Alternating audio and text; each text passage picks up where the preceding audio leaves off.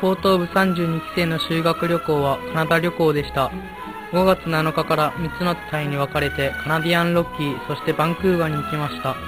カナダの自然は大変素晴らしいものでした。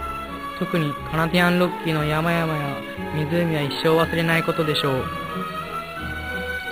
これからバスに乗ってロッキーの山々を見て回ります。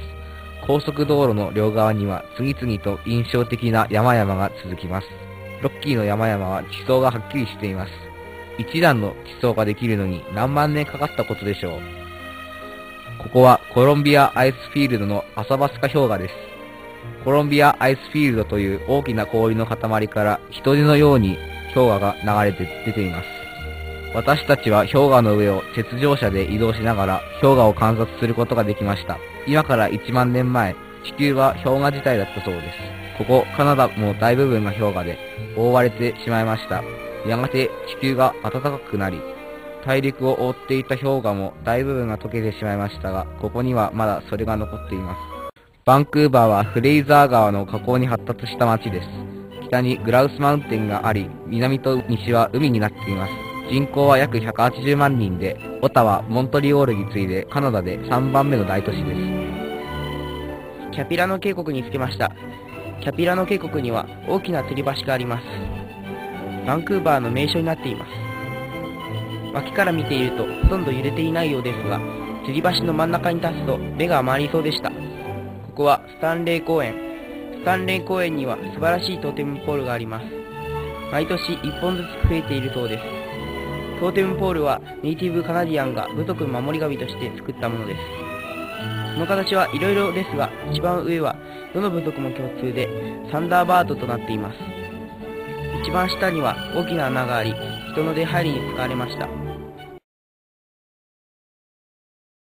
バンクーバーで現地の高校生と交流会を持ちました。話が弾み、大勢の友達ができました。ここはノートルダム高校です。ウェルカムショーの後、スピーチの交換をしました。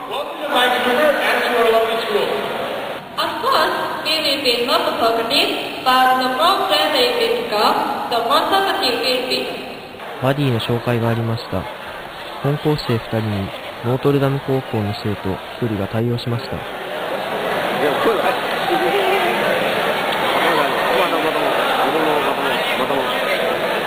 バディの案内でノートルダム高校のキャンパスツアーをしました。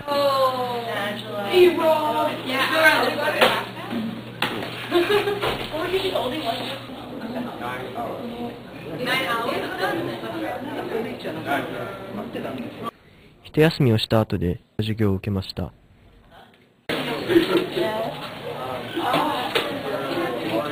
overthrow Western societies in a world revolution. And ironically, the communists felt the same way about uh, the capitalists.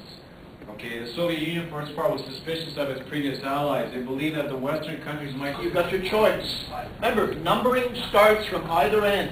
If this is your longest chain, you can start numbering from here. Big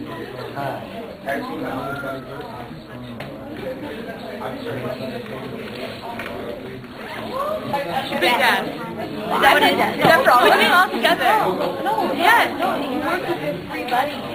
We're not. No, you work in three bus English class. I got 昼休み、食事をしながら歓談をしました。